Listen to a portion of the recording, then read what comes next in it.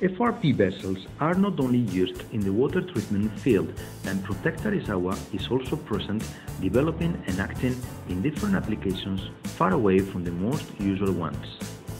One of those fields is the design and production of preconditioned air units, conductions for planes parked in the airport and connected to the terminal with passenger boarding bridges for the last two decades.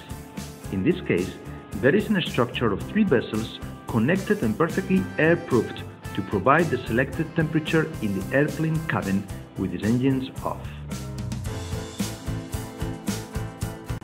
The vessel's combination has an independent automatic system to recover the internal hose pipe following the movements by the finger in the coupling maneuver with the plane fully integrated in the vessel structure.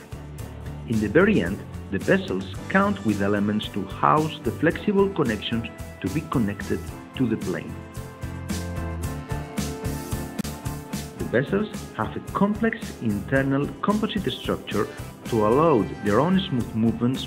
within the other ones in a telescopic motion, providing at the same time a perfect tightness, avoiding any air leaks and reducing hence the energetic cost of providing the plane with the right temperature at every movement. According to the specific finger design specifications, the vessel structure can have up to three different bodies which can be extended to the maximum length in case of need. Both the fingers and the PCA piping structure are connected to the terminal and the PCA engine with a global element allowing them to swing to adequate and adapt themselves to the plane positioning, reducing the adapting effort for the flexible elements. Protec Arisawa has the trust and prestige earned after almost 20 years experience in this field, being Protec products present in some of the busiest airports in Europe,